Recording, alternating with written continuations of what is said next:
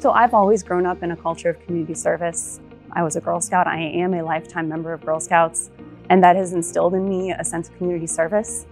And I've tried to carry that through into my adult life and professional life as well.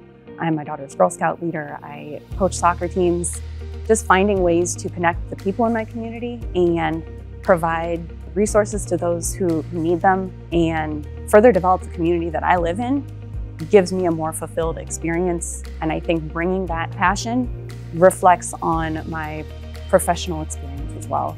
So we formed Volunteer Village to recognize the good work that our employees are doing. We have several projects that our practitioners work on internationally that support clean water initiatives and uh, development in underprivileged communities.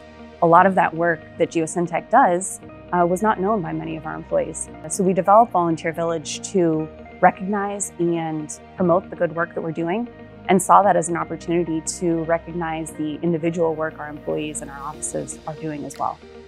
As part of our 40th anniversary celebration during March and April, Geosyntec will focus on two core values, passion and sustainability. We know that people and communities face serious challenges around the world and in our own backyards. We also know there are many ways that Geosyntec employees give back to their communities. Food banks, soccer clubs, cleanup days, schools, and nature conservancies are only some of the ways we support our communities day in and day out. To encourage, highlight, and honor our employees' commitments to work on their communities, we are holding a community challenge to provide assistance to 40 different organizations and complete at least 40 acts of community service to support sustainability. Employees can report their volunteer hours and post photos through Volunteer Village on Geosyntec SharePoint. While you're there, we also encourage you to log hours, events, and donations completed in 2023 and so far in 2024. We look forward to hearing about your work in your communities, to sharing your stories with your colleagues, and supporting organizations that are making a difference in your communities. Here's to 40 years of living our passion and making the world a more sustainable place.